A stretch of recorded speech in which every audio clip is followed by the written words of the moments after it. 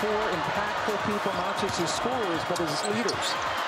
Inside. Knocking down a three-point shot has gotten to the rim a couple of times as well. James can be so dangerous. Done a good job of it lately. Paris. McPherson. Kicking it over.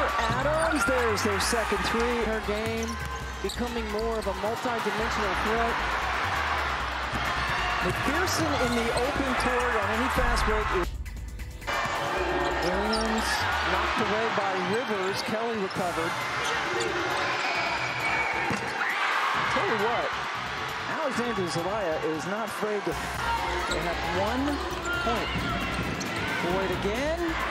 Much clock. No shot because Kelly lost it. Now Rivers turn on the break. Harris decided to attack the basket and was fouled. Cookies of the week. NC State has missed 10 of its last 11 shots. That one went in. Spots and knocked down the shot.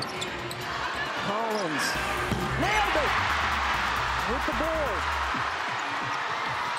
Brown turn for three. Two to tie, a three to take the lead. Hammer. James ties it. A two to tie, a three to take the lead. Hammer. James ties it. Of the Wolfpack bench. Here's McPherson, the fastest player on the court. They take it away by James. Her miss, Saniya Rivers. On both sides of the ball. Yes. James forcing one up and it went in somehow.